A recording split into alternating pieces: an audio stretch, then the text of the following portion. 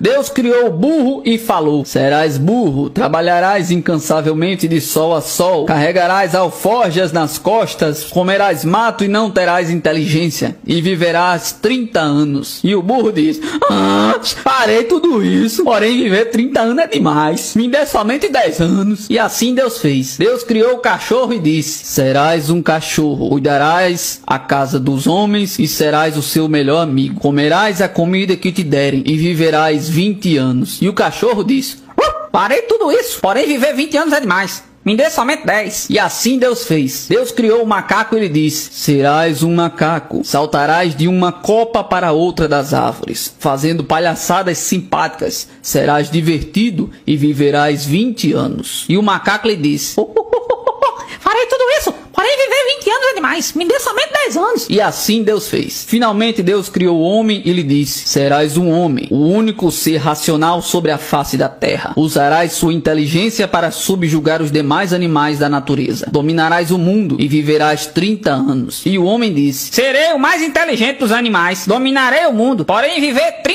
anos é pouco. Senhor, me dê os 20 anos que o burro recusou, os 10 anos do cachorro e os 10 do macaco. E assim Deus fez. E é por isso que o homem vive 30 anos como homem, se casa e passa a viver 20 anos como um burro, trabalha de sol a sol carregando tudo sobre os seus ombros, depois se aposenta e passa a viver 10 anos como um cachorro, cuidando da casa e comendo o que lhe dão. Então ele fica velho e vive 10 anos como um macaco, saltando de casa em casa de um filho seu, fazendo palhaçada para divertir os seus netos. Essa é a realidade da vida.